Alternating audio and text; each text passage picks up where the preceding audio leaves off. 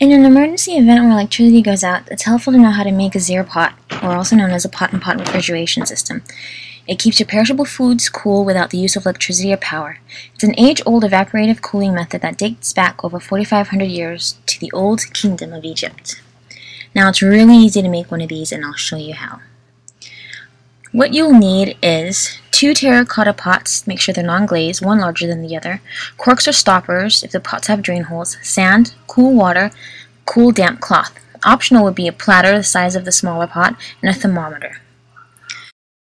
If there are vent holes at the bottom of the pots, plug them up with a cork or rubber stoppers to prevent the insulation from spilling out. Step 2.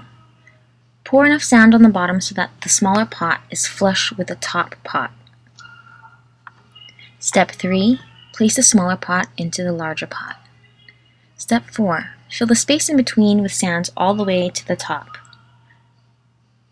Step 5. Slowly pour the water into the sand area till it can no longer take any more water. Be sure to pour slowly to prevent soil liquidation and give the water time to soak into the terracotta pot. Step 6. Place your perishable items into the smaller pot and you might want to throw in a thermometer just to keep track of the temperature. A cooler alternative is to place a small platter of sand and water over the smaller pot before you place a cool damp towel over the entire thing. And there you have it.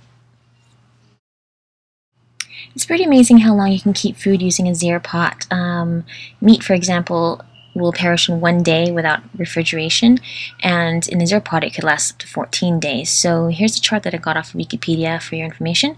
If you want to learn more about this and more, go to www.10-78.info.